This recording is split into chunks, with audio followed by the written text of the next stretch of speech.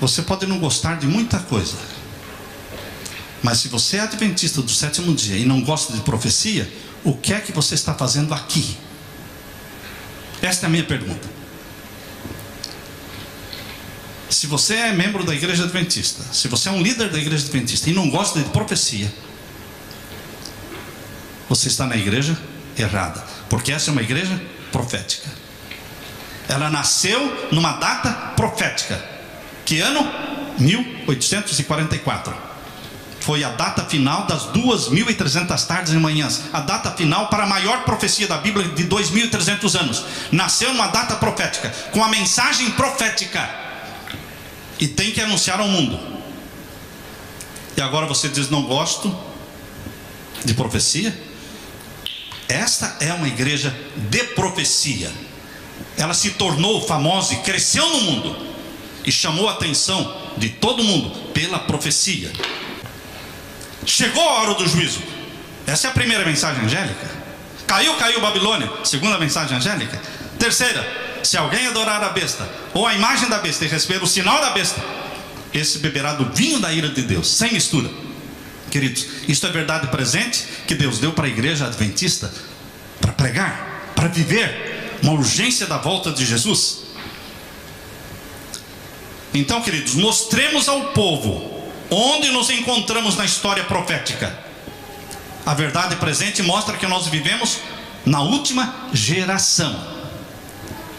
Eu posso assinar embaixo, falando que esta é a última geração.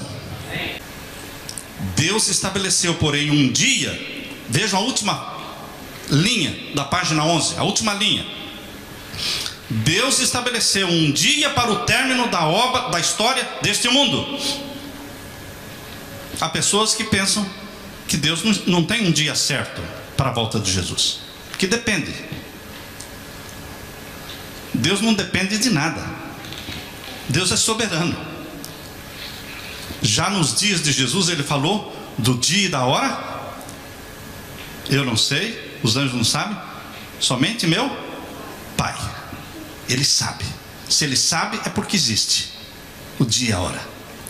E aqui na última linha da página 11 está dizendo: Deus estabeleceu o que? Um dia. Para quê? Para o fim deste mundo.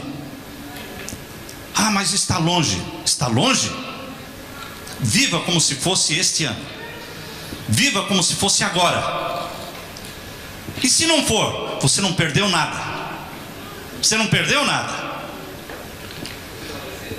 Mas se, se você falecer, você está pronto. Pronto para encontrar Jesus quando abrir os olhos, ouvindo a voz de Deus: ressurjam, filhos de Deus do pó da terra. Mas se você não estiver com esse senso de urgência, e a mensagem for verdadeira, que Jesus vai voltar logo, então você terá muito a perder. Muito a perder. O povo de Deus for selado pelo selo do Deus vivo, os ímpios serão selados pelo sinal da besta.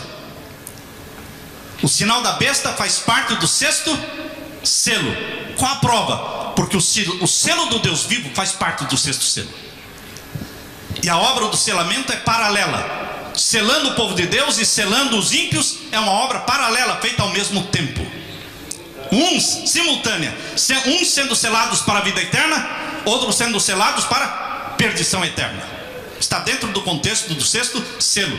Por isso diz Deus aqui, vamos ler de novo esse texto que está na página 12. O sinal da besta é exatamente o que tem sido proclamado. Nem tudo que se refere a este assunto é compreendido. Em 1900, quando escreveu, não se entendia muito desse assunto. Queridos, a lei dominical está se espalhando pela Europa e por todo lugar, irmãos. E, Israel, até Israel, o povo do sábado está trabalhando para uma lei dominical. Queridos, hoje nós estamos em condições de entender melhor a profecia do que 20, 30, 50 ou 100 anos atrás. Porque é luz acumulada, é luz progressiva. Por isso diz aqui: nem tudo que se refere a este assunto é compreendido, nem o será, até que tenha sido completamente aberto o rolo do livro. Lembre-se que são sete selos que abrem o rolo do livro. Nós estamos nos últimos. Que a graça e a paz de meu Senhor Jesus mantenha você animado, meu irmão. Mantenha a sua fé viva. Mantenha os seus olhos olhando para o céu, para a volta de Jesus. E que você, ao trabalhar, vender e comprar nesta terra, estudar e casar, você não perca de vista o sonho, a obsessão, que é a volta de Jesus na nossa geração. Amém? Amém. Louvado seja o Senhor.